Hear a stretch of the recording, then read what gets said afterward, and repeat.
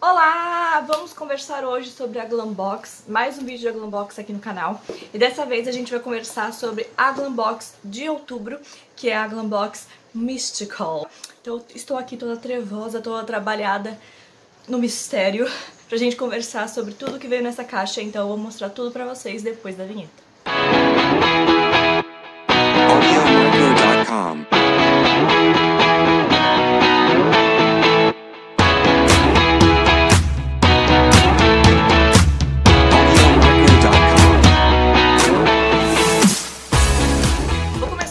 a caixa é linda, eu gostei muito dessa edição dessa caixa.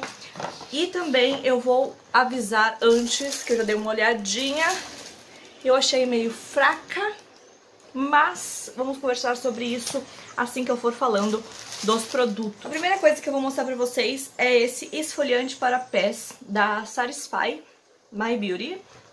Temos aqui essa marca que eu também nunca tinha ouvido falar. Esse creme esfoliante para os pés, ele é a base de CBA, que é um extrato retirado do cannabis, não é mesmo? Então a fórmula em si é toda vegana e cruelty free, o que é muito legal. Tem ureia aqui, então eles já vêm avisando isso também. E aqui diz que ele remove delicadamente a camada superficial da pele, é, mantendo um toque sedoso, macio e hidratado. Eu vou testar e conto mais pra vocês. Eu achei muito interessante essa marca, eu não conhecia.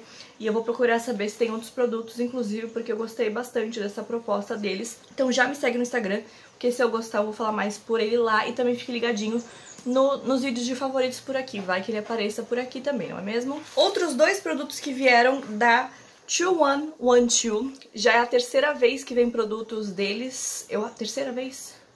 Terceira vez que vem produtos deles é, na caixa. Eu já recebi o esfoliante deles, esfoliante de corpo, que é muito bom, inclusive, eu já estou testando ele e ele é muito bom. Também recebi o hidratante para corpo, que esse eu ainda não testei. E dessa vez veio o shampoo e o condicionador da mesma linha. É, os dois são da linha Fresh Vibes e é um shampoo natural antioxidante, o condicionador também. Então, essa marca é totalmente vegana, cruelty free, não tem glúten, não tem parabeno, é realmente gluten free inclusive também. Então, essa marca tem toda essa preocupação. E eu tô muito curiosa pra testar esses dois shampoos, eu gostei muito da, dos produtos que eu testei da marca, então, como vocês podem ver, tá lacradinho, eu ainda não abri, mas aqui tem um cheiro, tem um, tem um desenho de abacaxi. Talvez seja um cheirinho de abacaxi? Talvez. Eu não li a composição ainda. Vamos ver a composição. Temos aqui extrato de abacaxi, então deve ter um cheirinho de abacaxi. É, vamos esperar pra ver, não é mesmo? Então, assim que eu testar, eu conto mais pra vocês também. Já falei aqui pra vocês que shampoo e condicionador não é uma coisa que eu sinto muita diferença no meu cabelo. Eu realmente uso qualquer um e não, não me faz muita coisa, então pra eu realmente gostar de um shampoo e de um condicionador, tem que ser maravilhoso, tá? Então vamos testar esses aqui, eu conto mais pra vocês sobre a minha experiência assim que eu testar. Vieram mais dois produtos na caixa e dessa vez veio mais um esmalte da Essence, essa cor eu achei belíssima. Eu gosto muito dos esmaltes da Essence, são muito bonitos e muito bons. Além do aplicador ser ótimo, ele ainda tá lacrado, por isso que eu não vou mostrar pra vocês. Mas o aplicador é aquele aplicador chato, que literalmente pega desde a base até o comecinho da unha. Então é muito, é, é muito fácil de esmaltar a unha com ele. E essa cor é belíssima, belíssima mesmo. Eu vou esmaltar a minha unha com ele e mostro pra vocês lá no meu Instagram, Maria Clara Beauty, vai estar aqui aparecendo pra vocês. Então já me segue por lá pra não perder de pertinho essa cor, tá bom? Lindíssima a cor. E eu gosto muito dos esmaltes da Essence porque a cor da tampa é igualzinha à cor do esmalte, então já facilita muito na hora de pegar. Inclusive, eu, eu amo essas embalagens assim, onde combina tudo, acho. E por último, mas não menos importante, temos um hidratante facial da marca Piantan, Piatan, outra marca que eu não conhecia. Eu gosto, do, eu gosto da Glambox porque eu conheço novas marcas e me apaixono por novas marcas. Ou nem tanto. Então, é, eu gosto de conhecer novas marcas que estão vindo no mercado. E essa aqui não foi diferente. Olha que bonitinho. E eu acho que se pronuncia Piatã, não sei. Mas aqui diz que é uma polpa hidratante facial sem parabenos, tá? Ela tem maçã, hortelã e gengibre. lindíssimo, eu adorei isso. Aqui diz também que ele é 100% ecológico e 90% é origem é, natural. Então eu achei maravilhoso. É um detox hialurônico e eu achei isso muito maravilhoso. Eu, achei, eu gostei muito da apresentação de toda a marca, inclusive eu vou procurar para saber mais sobre isso. Vegano, obviamente, né? Vegano, não testado em animais. É, também é tudo no selo Eu Reciclo. E assim, gente, eu tô muito curiosa pra testar esse produto realmente. Aqui diz que é o passo 4, que normalmente é o último da hidratação, então provavelmente deve ter outros passos antes, como limpeza, tônico, esfoliação, alguma coisa do tipo, eu não sei porque eu não fui pesquisar, mas eu vou testar com certeza e eu mostro pra vocês lá no meu Instagram, tá?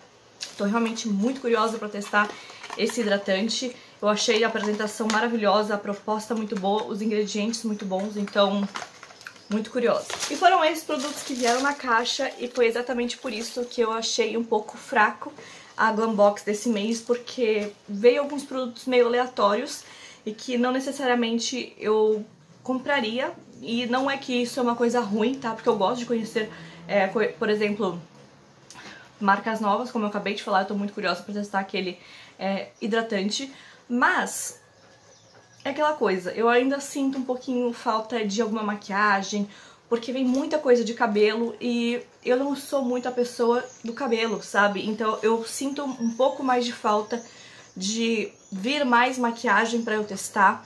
Então não achei tão legal assim a Glambox desse mês, eu devo confessar. Vou usar todos os produtos, Todos os produtos são indicados para o meu tipo de pele, o meu tipo de cabelo, então não tem nenhuma contraindicação, não veio nenhum produto errado, mas senti uma um, falta de mais, de mais coisas, sabe?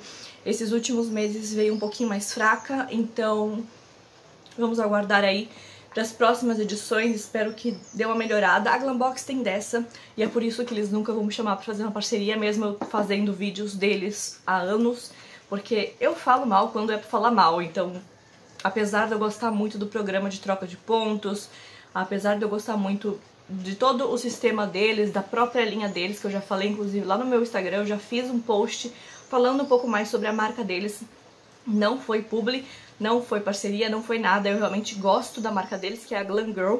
Eu já testei algumas coisas deles, são muito boas, eu já falei aqui, já falei aqui no YouTube é, deles também, então eu realmente gosto mas tem alguns meses que é mais fraco e tá vindo alguns meses fracos aí de Glambox.